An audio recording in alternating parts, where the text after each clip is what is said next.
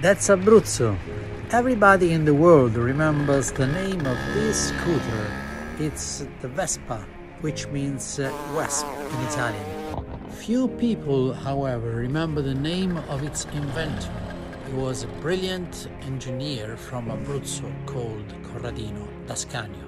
Corradino was born in Popoli in 1891 and had a real passion for flying. In 1906, three years after Wright brothers' flight, young Corradino tested a hang glider. In 1930, commissioned by Italian government, he built a helicopter which achieved three world records: altitude, duration, and distance. After World War II, Enrico Piaggio asked d'Ascanio to create an affordable mode of transportation. In 1946, the Vespa was ready and it was a success. Corradino d'Ascanio, the flight genius who invented the Vespa. That's Abruzzo.